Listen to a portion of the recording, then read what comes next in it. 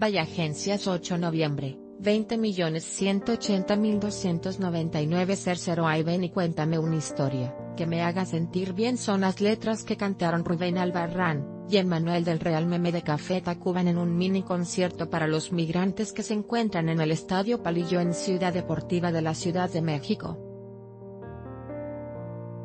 Los integrantes de la banda pasaron desapercibidos para los migrantes pues la mayoría estaban echando la cascarita o simplemente pasaban de largo ante los artistas, quienes no se bajonearon y les cantaron a los que se acercaron de todos modos.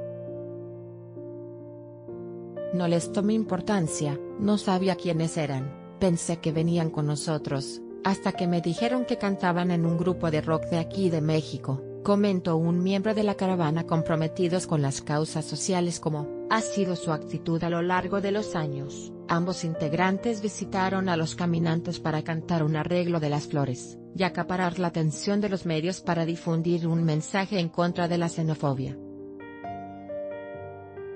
Que no surjan, actitudes xenófobas, hay mucha ignorancia, es importante no criminalizar, no discriminar, pues todos somos migrantes. No hay ningún ser humano que sea ilegal dijo Albarrán en una breve intervención con la prensa.